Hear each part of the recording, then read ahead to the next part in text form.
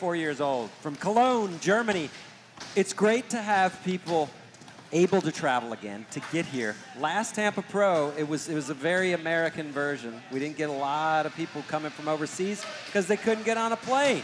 So we're psyched to have people like Jost in the building skating for Titus, Adidas, Red Bull, Ace, Bones, 24/7 distribution, and Bronson.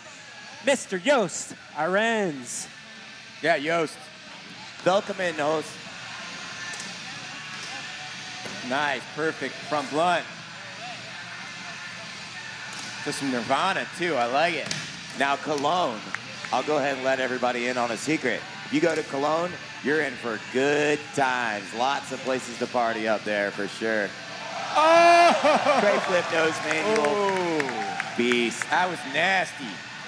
Love it. Growing up in Germany, the skateboarders are so talented and they're always focused on, oh, this in America is happening. This is America.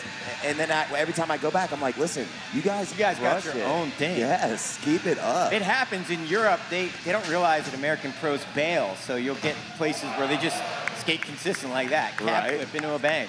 So good. Almost 10 seconds left. Ah, going for that hard flip. Yeah, some of those guys grow up watching videos and they don't realize that skaters bail on the stage. And they just become monsters. And that is going to be time uh, for Jost Arens. Everybody show some love. Each skater gets two one-minute runs. Best run counts, so one of them gets thrown out the window. Only your highest score counts. So you can bail all over the place on one run.